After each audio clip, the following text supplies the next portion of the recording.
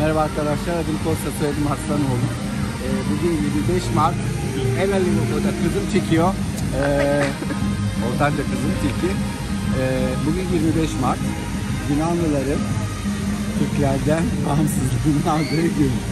Bugün her yer kapalıdır. Ee, ama buradaki atmosferi biraz görmeniz için çekiyorum. Çünkü bu da Yunan bayrağı. Ee, Yunanistan'ın bağımsızlığı e, günü bugün. Osmanlı 400 sene Osmanlı e, Osmanlıların e, kuşatması altındaydı. Bağımsızlık yoktu. E, ve e, bu Fransız akımı e, yavaş yavaş o dönem e, Yunanistan'a doğru gelmeye başladı. E, Likieteria diye bir e, bir kuruluş ki bu üç kişiden oluşuyor. E, başı Ypsilanti.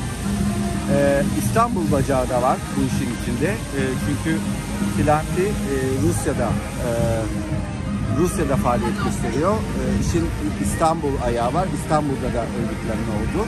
E, yaklaşık 200 bin kişi üyesi olan e, bir e, kuruluş. E, bizim e, İttihat ve Terakki gibi bir şey düşünün.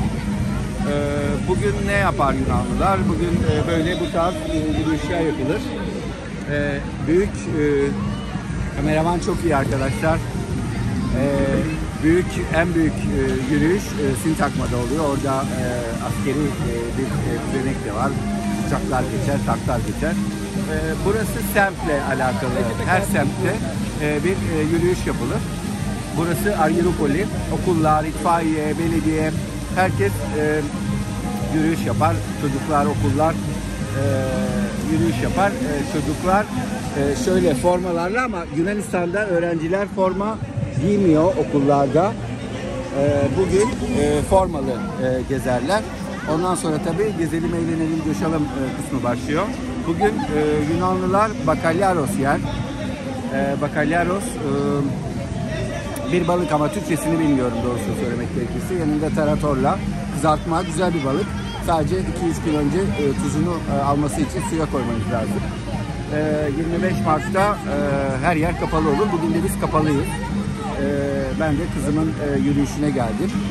E, durum bu. Biz yarından itibaren tekrar e, ofiste olacağız.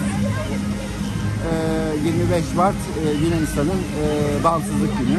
Bu kutlanıyor. E, bu kadar. Bir sonraki videoda görüşmek dileğiyle. Hoşçakalın.